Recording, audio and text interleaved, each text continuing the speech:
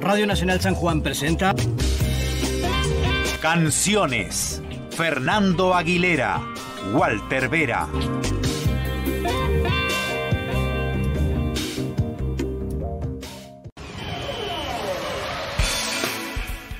Las energías no mienten, dicen. La vibración es real. Y cuando creíamos que ya todo estaba dicho, aquel octubre reluciente del 92 nos fritó a todos en una sartén gigante de sonidos más que estéreo. Aromas, colores y texturas, la sensación de sumergirnos en un líquido espeso. Eso, un líquido denso. La idea de estar dando vueltas y más vueltas sin parar y ser al final la energía misma. Hoy, en Canciones, la banda de sonido de nuestra historia, volamos a los desprolijos años menemistas y a la gran usina de canciones camaleones. Dínamo, Soda Stereo. Nunca fuiste una canción. Te oigo entrar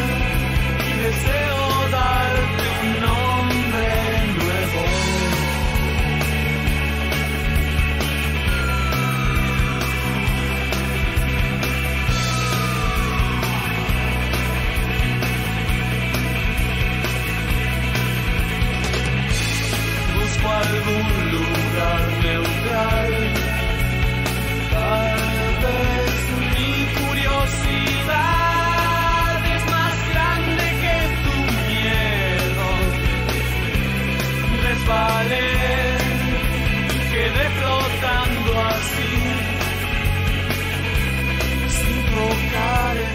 Bienvenidos amigos y amigas y amigues de Radio Nacional, la radio pública de la provincia de San Juan, LRA 23. Estamos en Radio Nacional, en este Canciones, la banda de sonido de nuestra historia, junto al profesor Walter Vera. ¿Cómo le va, profe? ¿Cómo anda? Hola Fernando, ¿qué tal?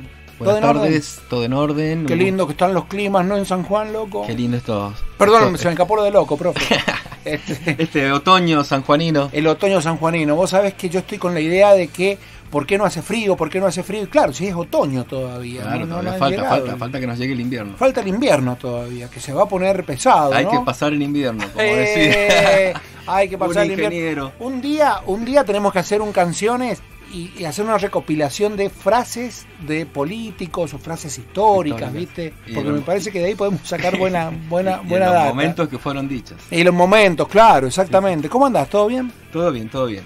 Programón en el día de la fecha, ¿no? Programón que, bueno, vamos a abordar un disco muy incomprendido en su En una, momento. en una época bastante incomprendida una todavía. época bastante incomprendida también, la década de los 90.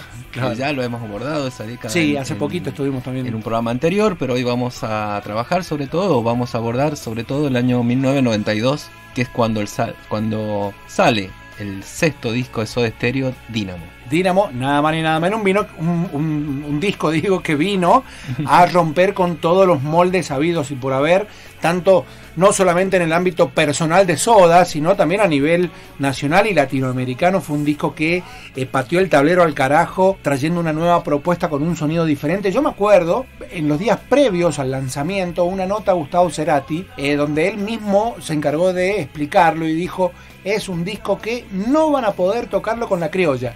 Y tenías razón. Más allá de que el- eh, de, de aquí- a quienes nos gusta tocar la guitarra le hemos buscado la vuelta y algunas canciones sí las hemos podido llevar a la guitarra criolla. Pero bueno, Dynamo, un gran disco de eh, Soda Stereo en un momento muy particular. Particular porque, bueno, Soda Stereo había, con Canción Animal eh, había roto todos los récords en Argentina en cuanto a eh, venta de discos, recitales por el interior del país, recitales en Latinoamérica, incluso llegó con recitales a España. Claro. una difusión por todos los medios. Había hecho creo que 14 Grand Rex. Rompe, rompe el récord de, de Charlie ahí. Y cierran la gira con un recital en, en la 9 de julio. 200, el multitudinario el recital de 9 de julio. 250 mil personas. Claro, fue gratis, pero bueno, había que juntar en que ese momento. 250 mil personas. ¿eh? Entonces, o sea, ya más de eso, ¿qué, qué, qué te queda? O sea, o sea, nada más queda. como- nada más queda. Es como Pero es como tocar ya, o sea, el cielo, ¿sí? O sea, Sí, es- era es- mucho, era mucho. era, era mucho, bueno, eso- Aparte, vos decías, los que, aquellos que hemos podido seguir la carrera en tiempo y forma de Soda. Veníamos de Canción Animal y ¿cómo superás a ese disco? Viste que ese siempre Claro. es un planteo del artista o por lo menos de quienes hurgamos en la Mm. cosa. De decir, anda a ganarle a este disco, a ver, dale, te quiero ver ganarle. Y sin embargo, aparecen con este Dínamo. Ya había pasado antes, con cuando, cuando sale a la venta Signos. Signos. También, viste, fue una forma, un remesón muy fuerte, muy, muy fuerte en, en- en el ámbito del rock y en la misma carrera de, de Soda. Porque bueno, era, era siempre doblar la apuesta, doblar la apuesta y ganarla encima. Es decir, bueno, hago un disco loco, pero es horrible. Bueno, pero en estos casos, en este caso, el caso de Dínamo, vamos al punto, es un- una, una obra maestra, ¿no? Una obra maestra que, bueno, se, se edita o sale lanzado en el 1992, año muy particular en nuestro país. Mm, Sí, porque bueno, en marzo del 92 sucede el atentado de la AMIA, sí. ¿sí? en la embajada, perdón, la embajada de Israel. Emba- Embajada de Israel. Embajada de Israel. En el 94 el atentado de la AMIA. Es eh, primera vez que en Argentina se sufría un atentado terrorista. Hay 22 muertos, 200 y algo de heridos. Todo esta, este atentado, bueno, que se atribuye a las relaciones que tenía en ese, en ese momento el gobierno de Carlos Menem con, con Israel. Y también algunos decían el apoyo de- del gobierno en ese momento a eh, la guerra de Irak, ¿sí? con, con el aporte de soldados ¿sí? y alinearse detrás de la política de Estados Unidos. Entonces, por eso fue, la- una, fue consecuencia este, este atentado. Bien. Que fue, o sea, creo que quedó también en la retina de todos nosotros, porque todos, eh, como esos hechos que, que te quedan grabados, siempre te vas a acordar dónde estuviste ese día, 17 de marzo, a las 15.45 Claro. todavía se conmemora durante ese, ese día, esa fecha, con una sirena que recuerda ese terrible atentado que, que sufrió nuestro país. Fue tremendo. Fue tremendo. Y lamentablemente todavía no se encontraron responsables.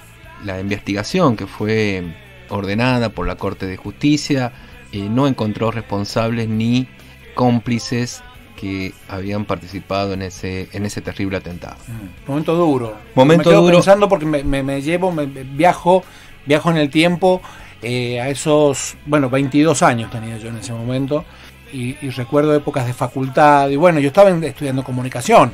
Entonces era como el punto a, a ver siempre y, a, y abordar aquel momento. Aquel de momento. Y luego en abril eh, se anuncia el plan Brady también, que es Sí. el plan de renegociación de la deuda externa, en donde ya había comenzado en el 91 con el plan de convertibilidad, Domingo Cavallo, eh, pero en el 92 ya eh, se anuncia este plan de renegociación de la deuda externa y empiezan los es como cuando refinanciar la tarjeta. Como cuando refinancia la tarjeta de es que crédito. Es un clavo. Es un clavo, claro. Sí. Y empiezan los condicionamientos del Fondo Monetario, Claro. este tema de ajuste fiscal. Dice, pri- yo te refinancio, pero pero hagamos esto. Claro. Te baja el y te dice, bueno, tenés que hacer ajuste fiscal, achicar el gasto público, Ah, privatizar empresas, apertura total del flujo de capitales, ingreso y salida Y de salida de capitales. divisas, claro. ¿sí? Y tenemos, eh, en este caso después, una de las medidas también de los condicionamientos del Fondo Monetario fue la privatización del sistema jubilatorio. ¿sí? Las famosas La famosa AFJP, bonito, claro. También iba acompañado de el, cuando eh, se achique el gasto público, se achicó el gasto público en la educación y la descentralización, cuando la educación pasan a las provincias y el sistema de salud pasan lo, a las que lo- provincias. que lo habíamos hablado a eso Lo habíamos en programas anteriores. en un programa sí. anterior. Pero bueno, se da este surge este plan de convertibilidad y se da una caída de la inflación en esos primeros meses, todavía seguida sobre el 20%, pero ya en el no, fines del 92-93 disminuye a un dígito. Eso trae una cierta euforia Mm, económica. Claro, sí, mira qué bien que está. ¿sí? ¿Te acordás cuando el 1 a 1? El famoso uno a uno. El correcto. famoso 1 a 1.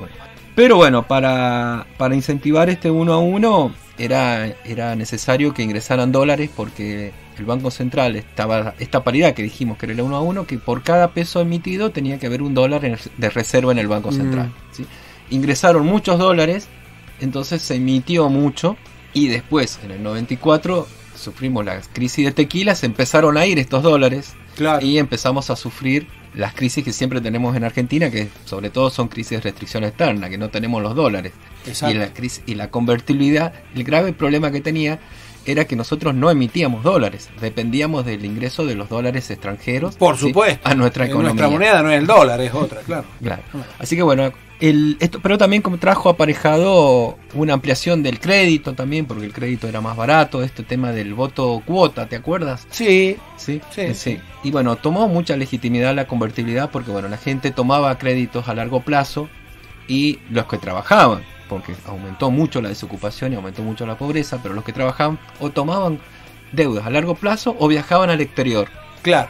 Bien, genial. Bueno, primer bloque, primer bloque de canciones, la banda de sonido de nuestra historia. Como ya hemos dicho, vamos a estar eh, visitando, revisitando los años 90, la década del 90. Precisamente hemos arrancado por el año 92, junto a eh, el disco de Soda Stereo que pateó el tablero del rock en la República Argentina. Señores, estamos en canciones, la banda de sonido de nuestra historia.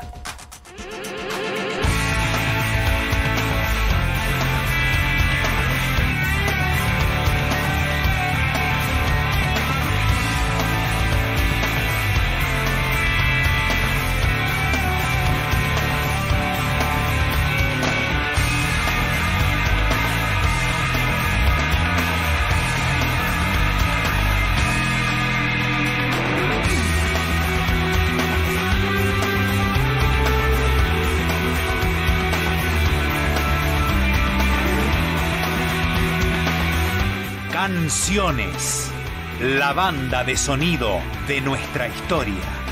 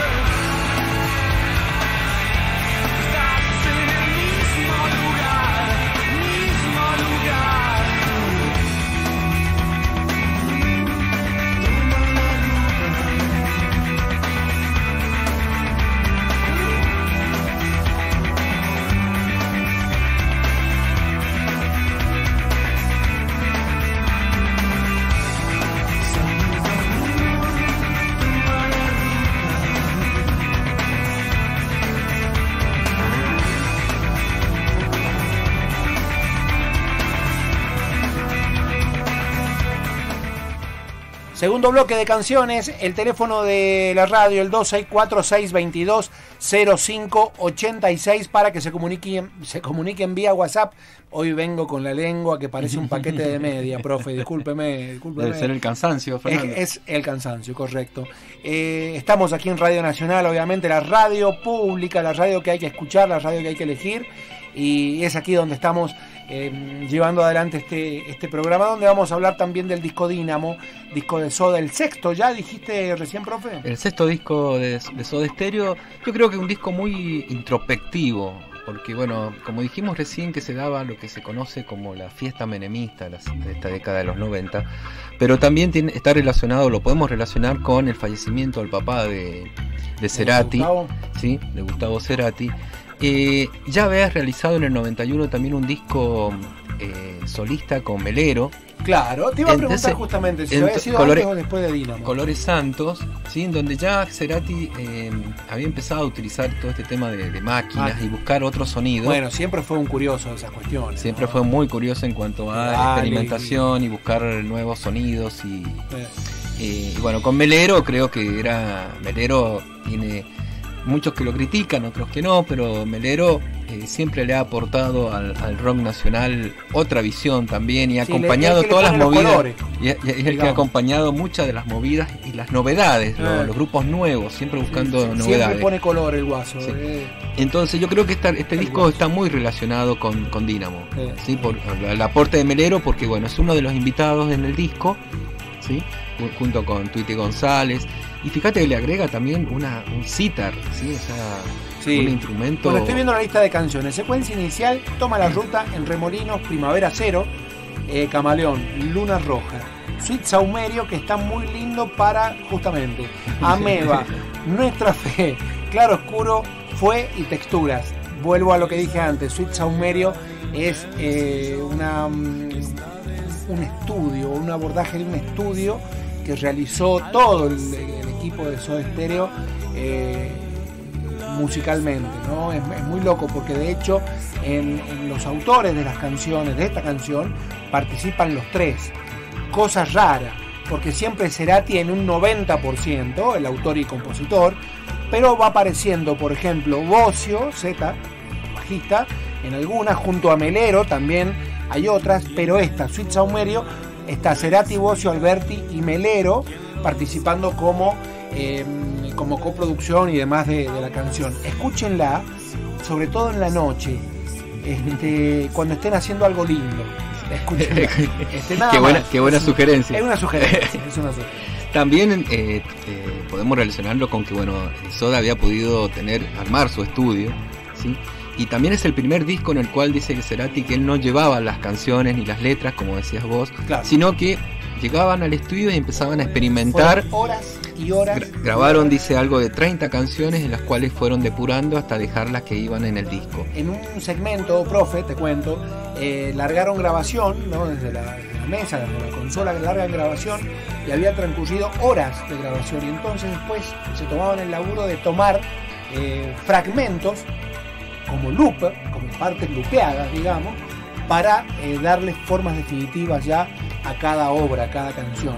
Así que fue una, una cuestión, bueno, se le nota al Se le nota, eh. se le nota, y, también, que hay un- y también tiene una parte de, de juego, porque hay una canción en donde Cerati deja la guitarra y, y la asume guitarra Zetabocio y Cerati toca el bajo. Claro. ¿sí? O sea, se dan estas posibilidades de, de jugar, de intercambiar instrumentos que, o sea, vos decís siempre Cerati ha sido el guitarrista. Bueno, ¿no? es que la, la evolución de un sonido, la evolución de una propuesta va de la mano de esas cosas. Si el artista no se, no se anima porque no quiere o porque no sabe, este, bueno, qué sé yo. Pero si hay evolución es fantástico. Sí, sí, yo creo que bueno, lo que eh, hace Soda Stereo en este caso es, después de haber llegado a un punto tan alto como fue Canción Animal, darse la posibilidad de jugar y experimentar con nuevos sonidos, eh, también creo influenciado por una, una música había en ese momento, en la década de los 90, con el tema del grunge, Claro. el tema del, de la movida sónica, que también se, después fue, este fue el puntapié de la movida sónica en Argentina, ¿sí? porque en la presentación del disco ya vamos a escuchar un aporte ahí de, sobre los recitales de, de Dynamo en Argentina. Pero ya Tenemos en- invitado tenemos un invitado. Pero bueno, yo creo que eh, muy influenciado por, por algunas bandas eh, inglesas ¿sí? o también estadounidenses como Sonic Youth, My Blood Valentine o The Yes or Mary Chain, de la cual yo soy muy fan de, de Yes or Mary Chain. Eh, y en este caso, bueno, Cerati juega con, con una batería en algunos casos, en algunas canciones muy, muy etérea, Sí. muy algunos eh, y algunas canciones muy bailables parecen de, de boliche, ¿sí? Para Sí, a, a mí lo que me llama mucho la atención de Dynamo es el sonido que tiene. Bueno, más allá de todas las propuestas y de todas las canciones que se han convertido absolutamente todas en grandes obras de- del rock, del rock de, de la República Argentina y de Latinoamérica. Este, pero el sonido, el sonido del disco es una patada en el pecho. y bueno, eh, vamos a escuchar entonces Dale, escuchemos. el remolino. Dale, perfecto. Ya venimos.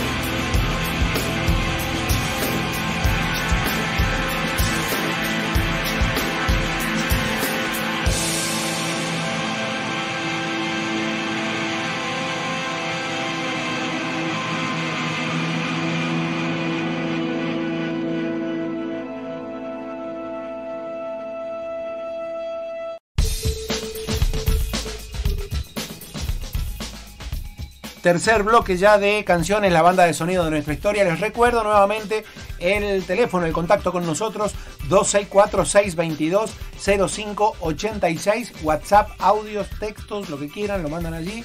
Eh, un nuevo bloque aquí en Y, Canciones. y nuestra fanpage. Y la fanpage, las redes sociales, este, tenemos Instagram, tenemos fanpage, eh, allí pueden, pueden seguir los, los programas que ya hemos grabado también. En la página de Radio Nacional también se suben los programas para, También, para aquellas también. personas que quieran volver a escucharlos. Pueden ver una foto mía. Bien. Este, no, bueno, no, no vean la foto mía, vean, escuchen, escuchen el programa está, que está muy bueno.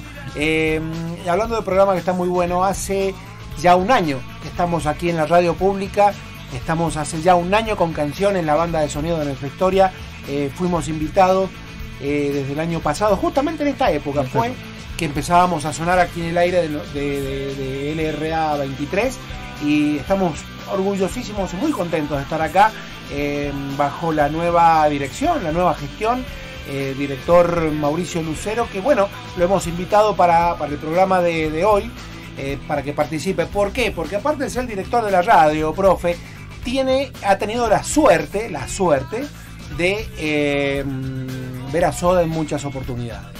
Y dijimos, bueno, si vamos a hacer un programa con Dinamo de Soda y demás, eh, ¿por qué no Y sobre- invitarlo al director? Y sobre todo siempre recuerda el la presentación de Dinamo que tuvo la oportunidad de ir a ver en obras.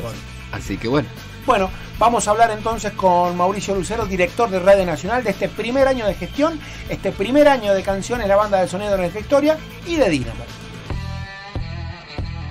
Canciones. La banda de sonido de nuestra historia. Con Fernando Aguilera y Walter Vera.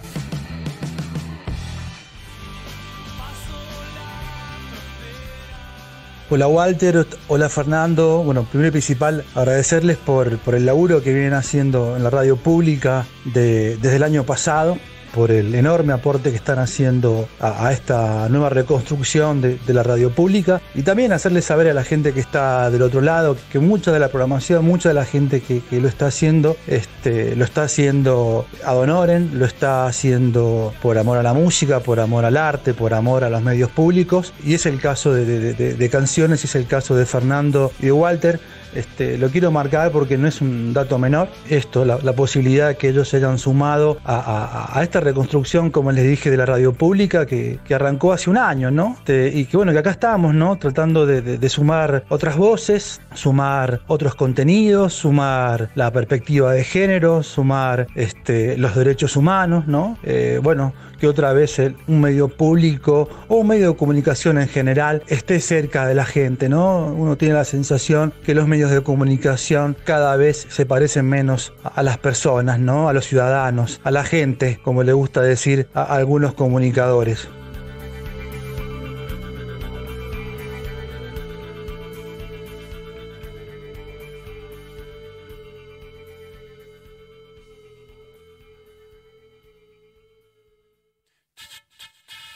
Canciones. La banda de sonido de nuestra historia.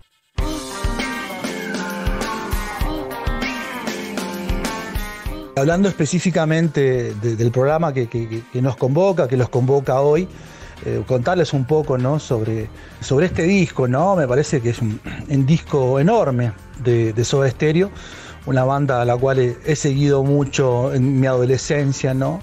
Eh, y que me permitió verlo varias veces a, a Soda Stereo, ¿no? Este, verlos en Chile, verlos también en, su despedida en la cancha de River, pero bueno, uno de los recitales que jamás este, voy a olvidar en mi vida, de todos los que vi, fue justamente este, ¿no? La presentación de Dínamo en el Estadio de Obras, ¿no?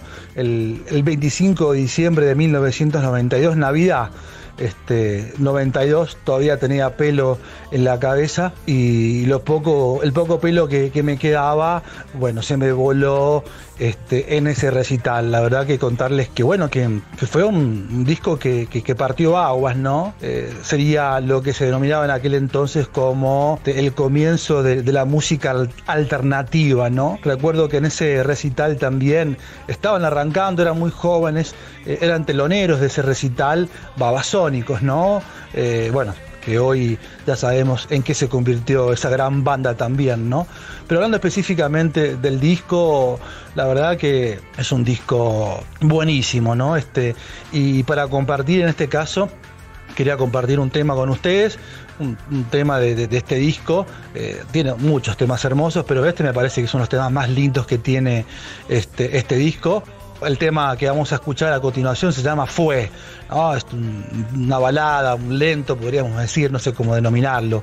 Pero la verdad que es un tema bellísimo, ¿no? Siempre las canciones de, de Soda Stereo ¿no? han, han viajado por, por, esas, por esos paisajes, esas imágenes de sexualidad, esos paisajes de seducción, ¿no? En sus canciones, en sus letras, ¿no? Y esta canción no es la excepción, ¿no? Así que, bueno, eh, Walter, Fernando, agradecerles por el enorme laburo que están haciendo en la radio pública, este canciones, esa fusión de, historia, de política y, y de música que nos regalan todos los miércoles. Este es un programa que espero cada miércoles para escuchar. Así que, sin más preámbulos, este, los invitamos a escuchar eh, Fue, yo diría, una de las canciones más lindas de Dínamo, un disco que marcó la historia del rock en Argentina y yo le diría en Latinoamérica también.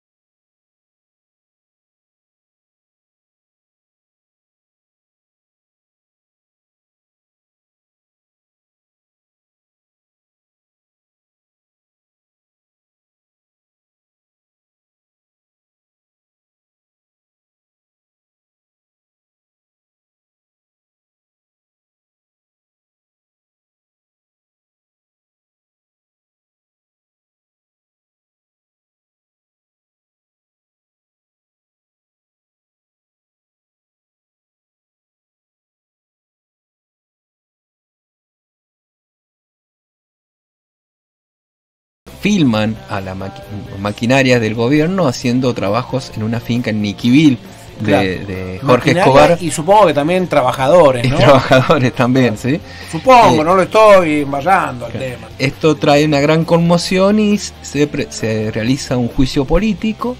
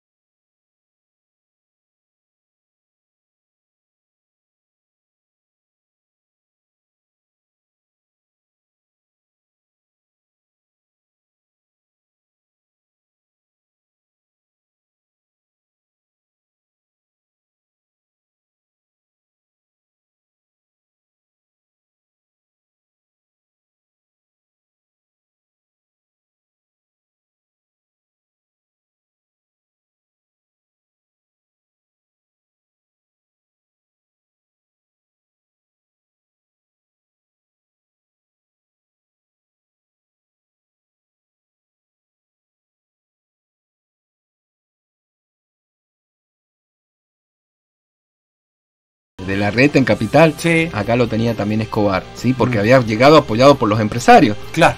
O sea, todo el empresariado lo había apoyado. Y nosotros, bueno, con algunos eh, militantes ahí, habíamos eh, entregábamos fotocopias del página 12 en la, en- en la inauguración de la Fiesta del Sol y fuimos detenidos Ah, Sí, mirá, me ar- acuerdo. arbitrariamente, sin ninguna orden de detención, fuimos detenidos nos tuvieron unas horas ahí en, Claro, la, cuando la en la en- comisaría cuarta. ¿Estuvieron mucho tiempo? No, no, tuvimos unas 4 o 5 horas, pero Les devolvieron los cordones y después nos cinto. devolvieron los cordones y los cintos. ¿sí? pero bueno, fue una experiencia traumática Bueno. de, ese, de ese año. Bueno, ese año está, me, me ¿eh? lo has traído a recordar el Mirá, año 92. Mirá lo, que, lo me has hecho recordar. Mira, mira, bueno, muy bien. Estamos en canciones. La banda de sonido de nuestra historia transitando los desprolijos años 90 junto a la música de Soda Stereo desde ese disco Dínamo que es realmente pura energía. Ya venimos.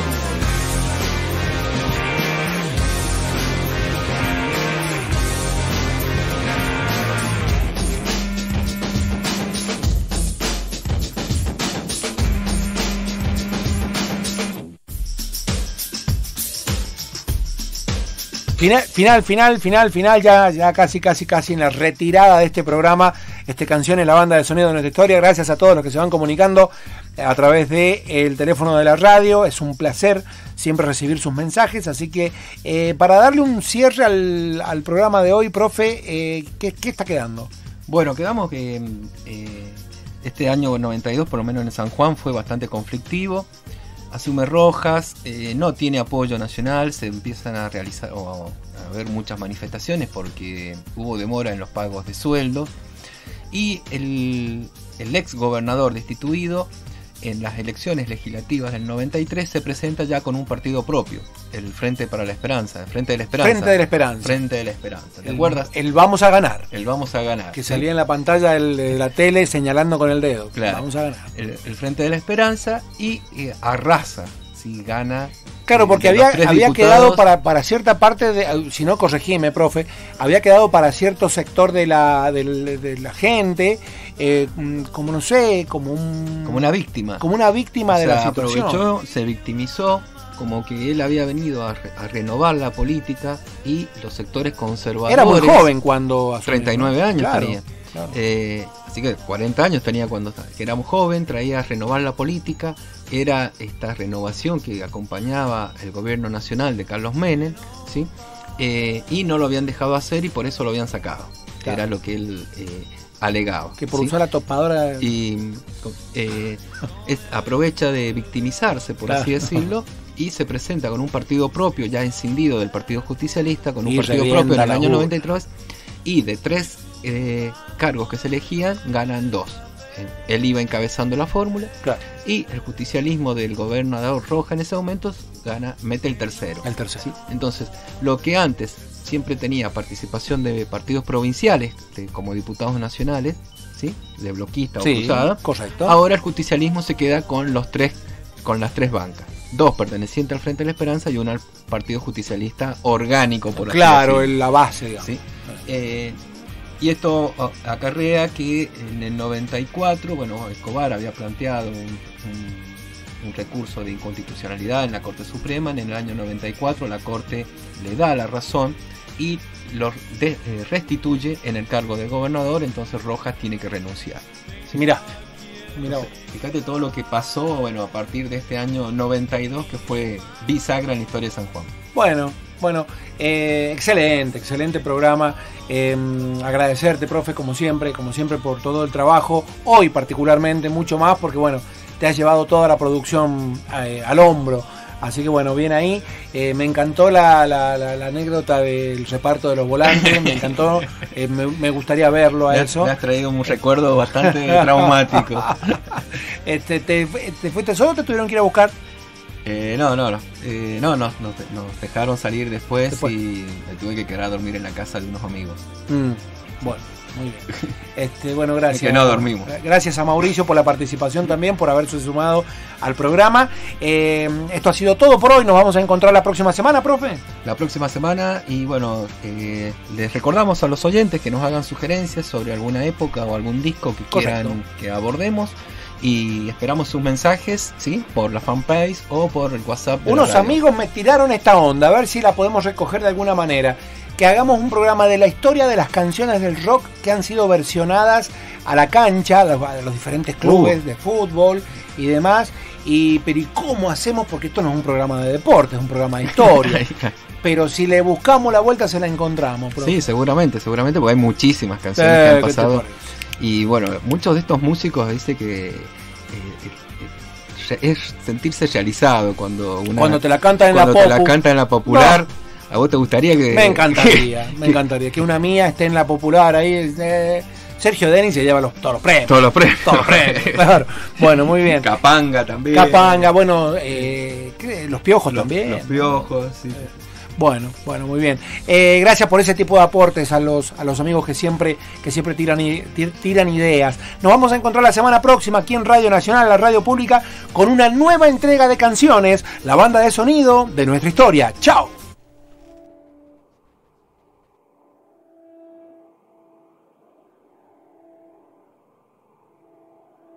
Canciones. La banda de sonido de nuestra historia.